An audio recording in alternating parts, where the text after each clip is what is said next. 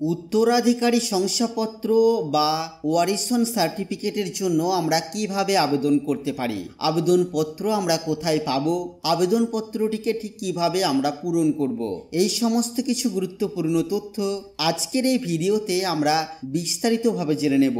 অনুরোধ রাখব ভিডিওটি অবশ্যই প্রথম থেকে শেষ পর্যন্ত দেখবেন। নমস্কার, আপনারা দেখছেন মাল্টি গাইড চ্যানেল। আপনাদের সাথে আমি আছি বিশ্বজিৎ। তো দেখতে পাচ্ছেন বন্ধুরা, এই হলো সেই আবেদনপত্র, যার মাধ্যমে আমরা উত্তরাধিকারী শংসাপত্র বা ওয়ারিশন সার্টিফিকেটের জন্য আবেদন করতে পারি।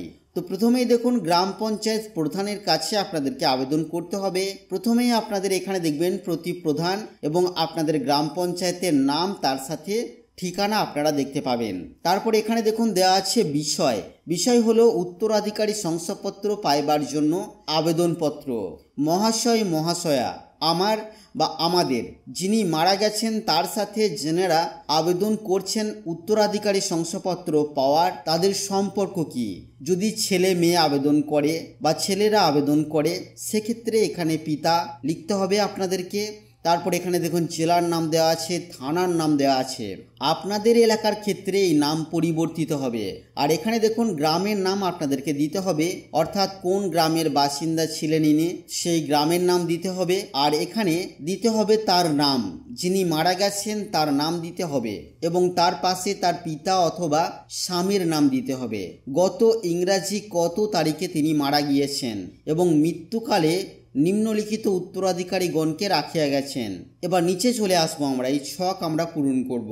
এখানে দেখুন ক্রমিক নাম্বার আপনাদেরকে দিতে হবে, অর্থাৎ কতজন উত্তরাধিকারী আছে তার সংখ্যা আপনাদেরকে দিতে হবে, এখানে উত্তরাধিকারী গণের নাম দিতে হবে, তারপর তাদের পাশে তার পিতা অথবা স্বামীর নাম দিতে হবে। বর্তমানে তাদের বয়স কত, সেটা কিন্তু এখানে লিখতে হবে, তাদের ঠিকানা কি? এখানে কিন্তু লিখতে হবে, এবং সম্পর্ক কি? যিনি মারা গেছেন, তার সাথে এনার সম্পর্ক কি? যার নামে উত্তরাধিকারী সার্টিফিকেট নেওয়া হচ্ছে, তার সম্পর্ক কি সেটা কিন্তু দিতে হবে। এবং যার নাম এখানে দেওয়া হয়েছে, তিনি বর্তমানে জীবিত নাকি মৃত সেটা কিন্তু লিখতে হবে। তো এইভাবে আপনাদেরকে এই ছক পূরণ করতে হবে। যতজন উত্তরাধিকারী আছে, তাদের প্রত্যেকের নাম কিন্তু এখানে আপনাদেরকে দিতে হবে। মৃত্যুকালে মৃত এখানে তার নাম দিতে হবে, অর্থাৎ আমরা আগে এখানে যার নাম দিয়েছি তার নাম দেব আমরা, সেই নাম এখানে দিতে হবে। এর স্থাবর ও অস্থাবর সমস্ত সম্পত্তির উপরিউক্ত আইন অনুযায়ী উত্তরাধিকারীগণ ব্যতীত অন্য কোনো উত্তরাধিকারী নাই।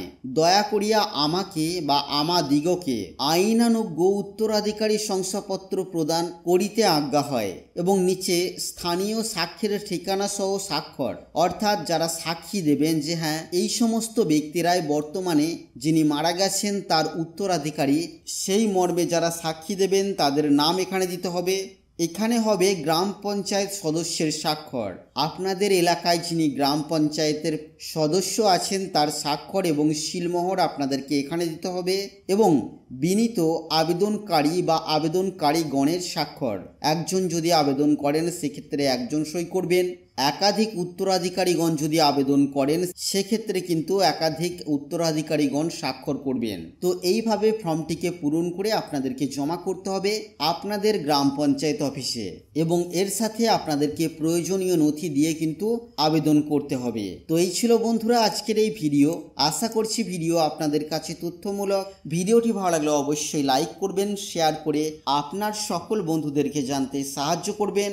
আর চ্যানেলে নতুন হলে চ্যানেলটিকে সাবস্ক্রাইব করে পাশে থাকা বেল আইকনে অবশ্যই ক্লিক করবেন। ফিরে আসব আবার কোনো নতুন ভিডিও নিয়ে আপনাদের সাথে। ততক্ষণের জন্য আপনারা সকলেই খুব ভালো থাকবেন, সুস্থ থাকবেন।